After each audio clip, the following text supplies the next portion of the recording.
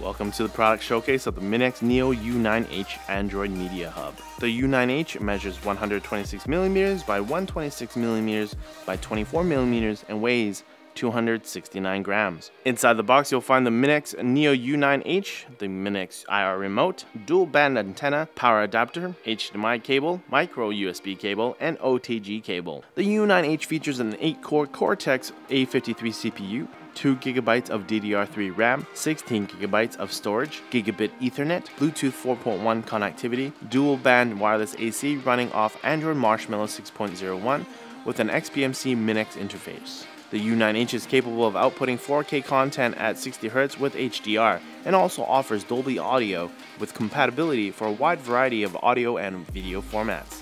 The left side of the U9H has an antenna connector. At the front of the unit is the IR sensor. To the right of the unit is the power button, three USB ports, one microSD expansion slot up to 64 gigs, Kensington lock, and OTG port.